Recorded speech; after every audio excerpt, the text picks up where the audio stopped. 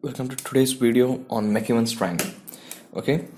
Uh, in this video what we're going to first do is we're going to first figure out what MacEwen's triangle actually means why it's important where it's important how it's used and then what we'll do is we'll plant out the boundaries and then we'll look at some image some images to see if we can correctly locate where the triangle is located. Okay? But before that this uh, I want to thank these guys for providing the images.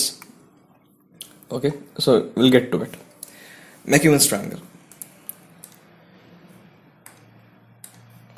now Mac even triangle MacEwen's triangle is a surgical landmark. So even if you are in first year or third year it's going to make sense a lot. It's a surgical landmark. So it's an applied anatomy or it's a landmark in your ENT. Now, what does it signify? It's a triangle which is a basically a defect or a depression type in your temporal bone behind the external auditory canal which is used to state the location of mastoid antrum. Now, why is mastoid antrum necessary? Mastoid antrum is the largest air cell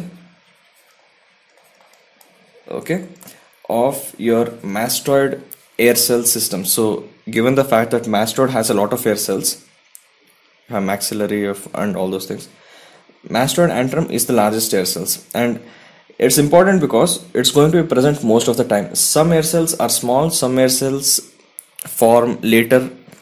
But mastoid antrum it's a highly sure way that it's that it's highly sure that it's it it's present okay? So mastoid antrum air cell MacEwen's triangle is the surface surface landmark for it.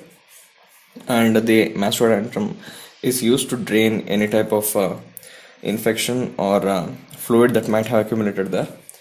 Now how is the triangle defined? The triangle since it's a triangle will have three borders. Okay? Now why it's confusing for most people is different texts give a different meaning for each of the borders well for the two borders the superior border and the anterior border. Now superiorly various texts mention that it should be okay superiorly various texts mention that it's either an inferior temporal line or some call it the suprameatal crest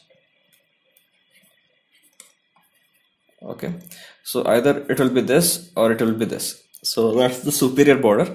And the anterior border some say it's the posterior superior meatal wall. Some call it the posterior meatal wall.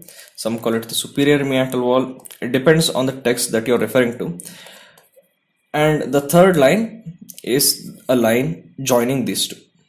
Okay. So the third line will be something which joins point A to point B.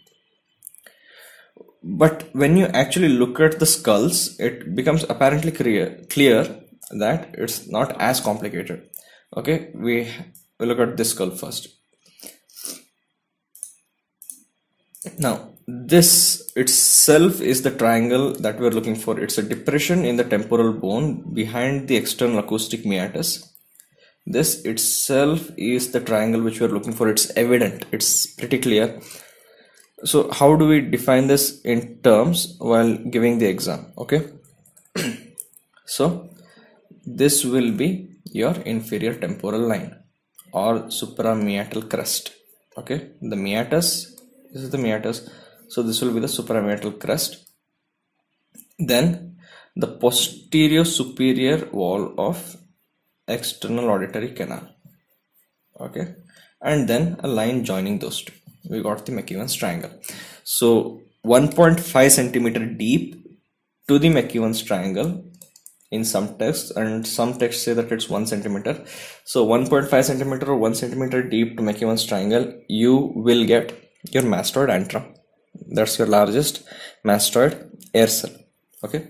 So it's clear. You got it right the superior border and the superior border the anterior border and a line joining those two.